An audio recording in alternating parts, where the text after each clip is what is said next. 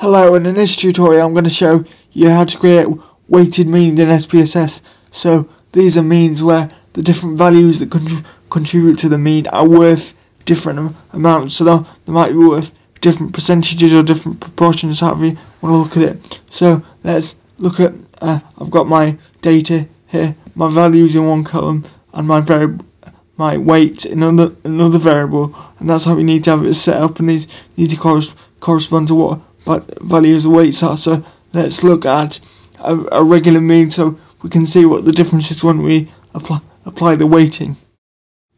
So to, to do that, let's go to Analyze, Descriptive Statistics,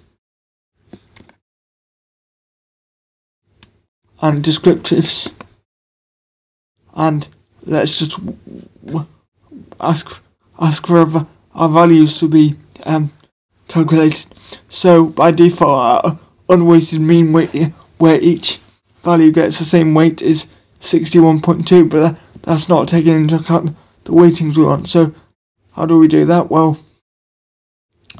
to do that, we want to go to data, weight cases,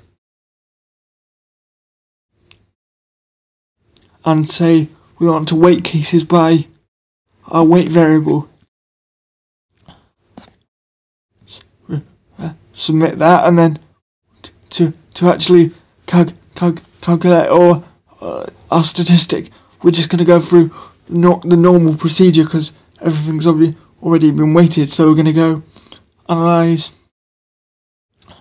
descriptive statistics and then descriptives, and uh, give ask for the means of our values again. And this time we see that when they've been weighted, our our value is 74.32, so very different.